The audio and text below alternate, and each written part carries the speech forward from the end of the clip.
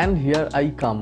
You know many of the enthusiast photographers who are willing to start their stock photography journey are finding a bit difficult in signing up in bigstock.com. The same problem happened to my friend Divyesh who asked me regarding this questionnaire. Uh, it's a set of 15 questions that Bigstock puts up in front of you in order to get started as a contributor. So as I promised him in today's video, I'll be taking that set of 15 questions and solving it for him so that it will help him as well as new friends who are starting to set up as a contributor in bigstock.com. Hi guys, this is Dr. Arindaman. You're watching the Teaching Doc. Now let's get on with the video. So we are in my computer and this is the homepage of Bigstock that is www.bigstockphoto.com. Bigstock is owned by Shutterstock just for your information and it is better than other stock photography website as in it has a very low payout amount. I'm what I mean to say is in agencies like Dreamstime you need to have a $100 payout limit.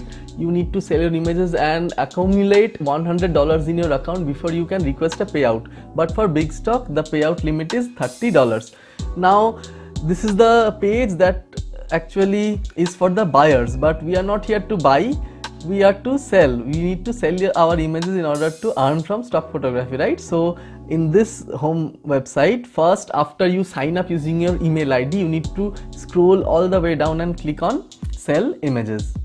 Upon clicking sell images you need to again click upload images in the bottom of the page and then click become a contributor. As soon as you click become a contributor they will give you two pages of all those terms and conditions that you eventually will accept anyway. So we will on the first page we will click next page.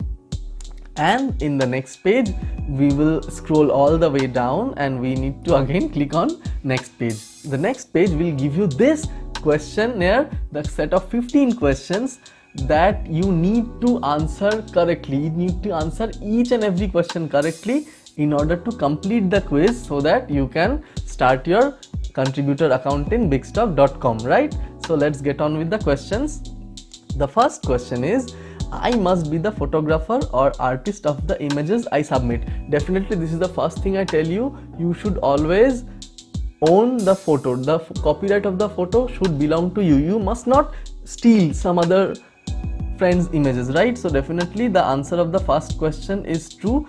I must be the photographer. That is you must be the photographer of the images you submit. Moving on to question number 2, it says I must provide a model release for all models in my editorial images. This is wrong. In editorial images i always told you editorial images are those images where you do not have the model release. So definitely you do not need a model release for editorial image. So i must provide a model release for my models in editorial image is false so question number 2 is false. Question number now i goofed up next part of the video so here i answer in the still picture. The question number three actually it says it's best to apply the photoshop sharpen filter several times to my photos to make them nice and crisp. Answer to it is obviously false. You cannot apply photoshop filter multiple times. It will simply ruin the image and it will be rejected. So question number three will be false.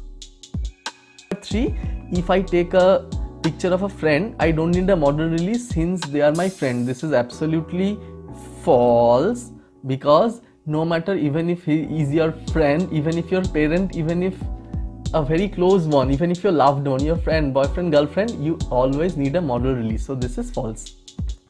Question number 5 submitting a photo of fedex truck with a visible logo is okay under these circumstances. Now there are five options. So let us look into it. I took the photo inside my own home. Definitely no. You need to you need a property release.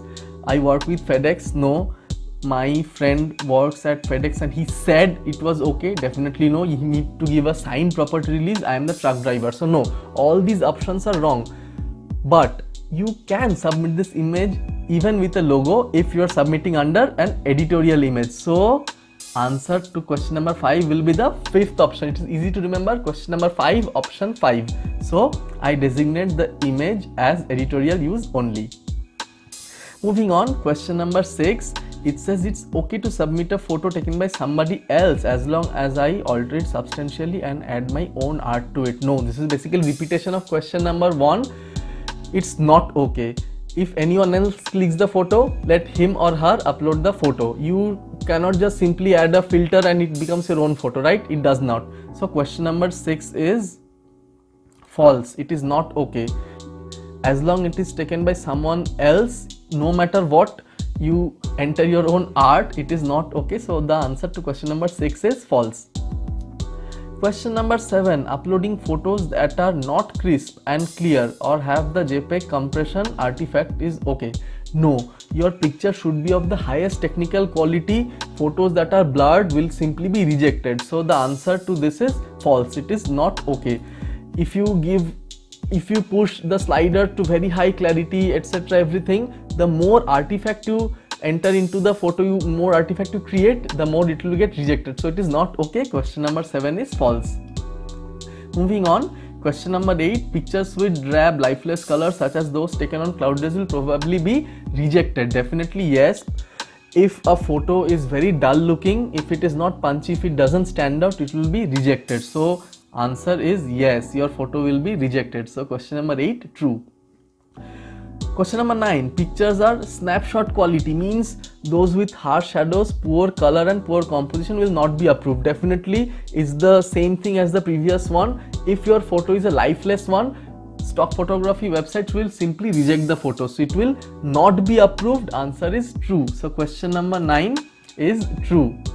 Moving on, question number 10 Conceptual photos are good because they appeal to a wide range of buyers they sell very well definitely. Conceptual photo means a photo which tells a story of its own an emotion or anything which can be used in different way. Those are very good appeal to buyers and definitely they sell very well. So answer to that is true. Question number 11 it's such a good idea is a good idea to retouch my photos and punch up the color little to make them more attractive definitely yes. I always suggested in my previous video in order to stand out in order for your thumbnail to stand out you need to edit the photo in photoshop or any other software in order to make it a bit more punchier. The color the saturation the sharpness should be pushed a little higher. So definitely answer is true. It's a good idea. Question number 12. A clear, well-framed subject, easy to see, will be dramatically will dramatically improve my chances of selling. Yes, definitely. If a photo is well framed, it will definitely sell very well. So question number two, it's easy. Answer will be true. Question number 13. It's a tricky one. If I have a photo of generic looking home. It was taken in France, Paris. Should I include the keyword France and Paris?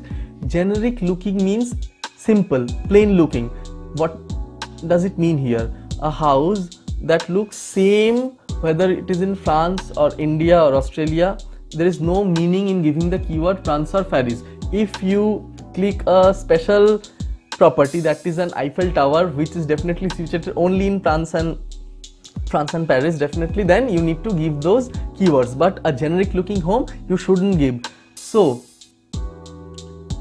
I should include. Answer is false. You shouldn't include.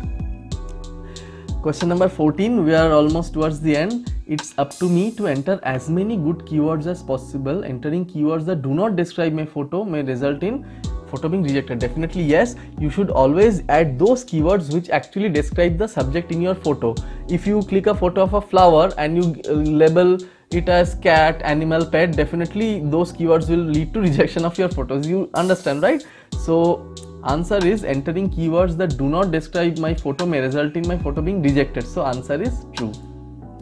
Last question. Whenever possible, I should submit a model release with photos of recognizable people. Definitely it is true. I already told you if you are a beginner stock photographer, any photo that has identifiable face should always have a model release. So those were the answers of those 15 questions after which you need to click the complete quiz so after you click this you will get a green light that says you have passed the test congratulations and now you may upload your photos. Then you can click on the start uploading and then then you will end up in this page where you must tick all the terms and conditions and then you need to click on agree.